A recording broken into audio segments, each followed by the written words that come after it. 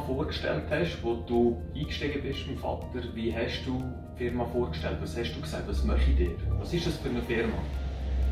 Das ist mir immer schwer gefallen. Äh, ich habe nie gewusst, wo ich ansetzen soll, wie das es präsentieren soll. Jetzt mit Apple Free muss ich sagen, jetzt habe ich die drei Werte erarbeitet. Mit diesen drei Werten kann ich mir jetzt Firma, die Firma vorstellen. Daraus haben wir auch ein Versprechen gemacht, aufbauend, richtige Sätze, die richtige Reihenfolge. Jetzt gerade frisch vorher. Du, kannst du die schnell so verinnerlichen oder lernen? Oder sind die drei Sätze kompliziert für dich? Nein, die sind gar nicht kompliziert.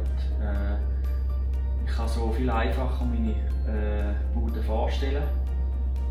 Habe es einfacher, ein Gespräch anzufangen und kann nachher erst später in die wichtigen Details äh, anhängen. Sensationell. Und die drei Werte, ist das für, sich, für dich das, das Wertvollste bis jetzt? Oder gibt es etwas anderes, das auch so wichtig ist? Oder sind es die drei Werte? Vor allem die drei Werte, aber auch das am Schluss, wie ich die Bude kann vorstellen kann, die drei Sätze, die sind der Hammer. Hey, cool. Freut mich. Danke für die super Zusammenarbeit. Bis bald.